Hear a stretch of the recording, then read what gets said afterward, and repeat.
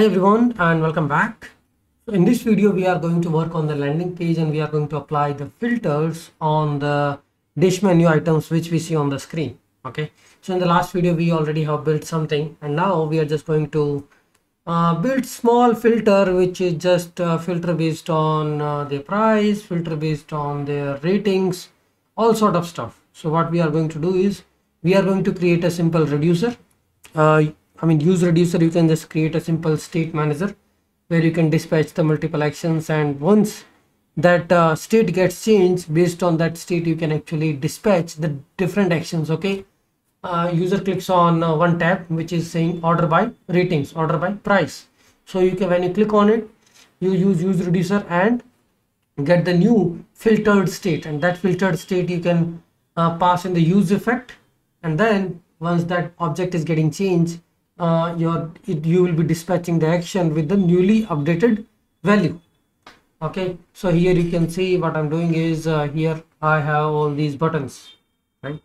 We have like these different categories filter type based on veg non-veg and vegan all these different categories we have right? So instead of that we can just name them different and here based on the type. So what are the types we have? What are the types we support? Veg non-veg vegan and something. So that same types we are going to display here. I mean this is just a prototype. You might enhance it extend it at very different level because you can have your own types. Here i'm just type uh, adding the types. Okay let's say we i have a veg or uh, because food type is veg. Let me try with this burger. So here veg non-veg price rating ascending order by uh, all these properties. So this is what i'm going to do right? Food type is the filter. And then uh, i have the ratings. So return food type equal to fast food. Yes this is the fast food. So when you select a burger that means you are looking for fast food. And that's good. So we are setting the food type here. And order by i can do default order by ascending esc okay so similarly i have all these different conditions. Filter type order by uh, and these are the different types pizza salad and salad will come inside a vegan pizza will again come inside a fast food chicken will go inside a non-veg. So i just created these categories just for my comfort so i can finish this easily. And then there can be a another filter which we can have for ordering based on the price like ascending and descending order. So when you click on to this this filter by price then we will just uh, do something different. Here we are just going to filter type equal to price order by ascending and descending based on which button you are clicking on. Okay? So this is just like a simple filter we are ready with. And here based on the type because bur burger is a fast food pizza is a fast food salad is a vegan chicken is a non-veg and then you have a price filter.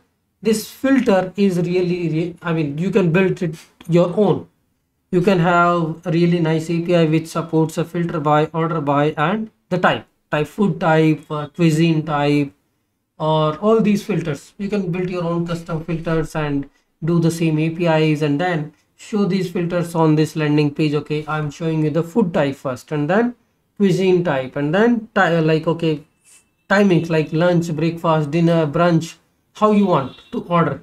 So that all things can be possible here we are just passing these filters whatever we are getting from the UI and those filters we are going to supply back to our APIs so here uh, we are going to do is uh, filter type. So we are going to add a method. So we are filtering based on uh, whatever you are clicking on to this button. So here we have handle filter change which is dispatching this type filter. Okay handle filter change and we are passing all these things. Handle handle filter change and there is a first option is all also. That is a default. That means i don't want to apply any filter. I want all the data. So that we can consider inside a default case. Okay so now there can be all and inside all case i can just have because i don't want to apply the filter here. I can just order by sending. That's it and we can just see our API is okay rating price and delivery time so we can just use this filter. Here uh, now uh, we are passing this filter and based on the filter change we are dispatching the action. So ta -ta -ta, I need to refresh this thing. So here let's say all. I'm just trying to play with this thing. Here whatever the redux state we are going to get that we are going to iterating there this we don't need. What is this? This is something which we can remove. So this is the dish data and okay here filter reducer filter dispatch. So whenever the filter is getting changed what we are calling you see? We are using use effect and store dispatch. It's same as dispatch. Whenever the, whenever the filter object is getting changed we are passing this. But here in this url you also need to pass this parameter filters. Filters is nothing but a string so we can concat that in the url after the api v1 dishes. Okay so this is set foods. This button we don't need so this is like a simple search. We can just get this uh, get the rid of this. So this is all. That means uh, okay all these parameters are correct. Now we can just apply the filter so here I can see the API is going food type and then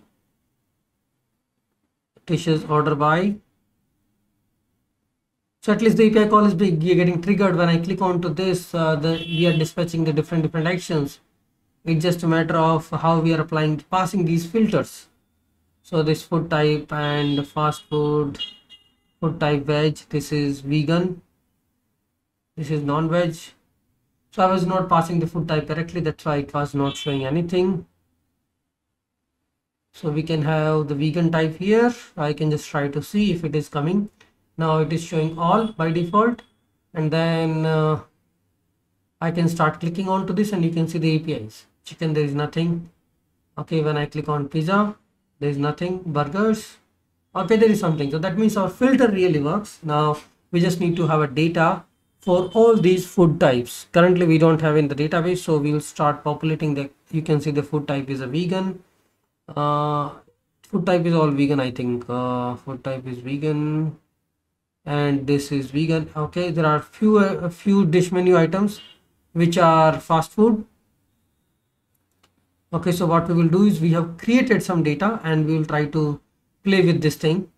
Okay so if i just try to search vegan then i am getting all these data. So here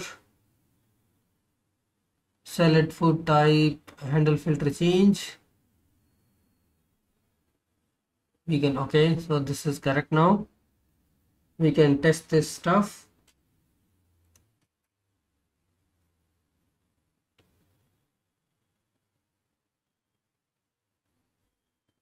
Okay let's see our apis and now i can see in the salad also we are getting the response it's all about the availability of data. If you have the data like in all these sections then you will start getting the data. I need a data uh, for the dish menu items having food type as a fast food uh, as a vegan as a non-veg and uh, what is that? These are some of the categories veg non-veg and vegan and fast food. So we need to have a data so that i can show. But this really works and based on based on the filter when, when you click onto this filter we can show those two icons ascending and descending.